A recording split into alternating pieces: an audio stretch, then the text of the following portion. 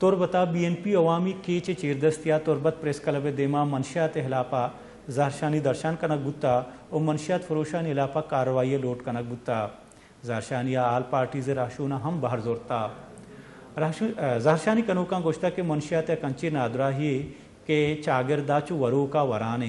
कीचे दमगा मंशियात चु गेश्तर नीबगो सब्ज़ी वड़ा बहाबुआ गाएँ।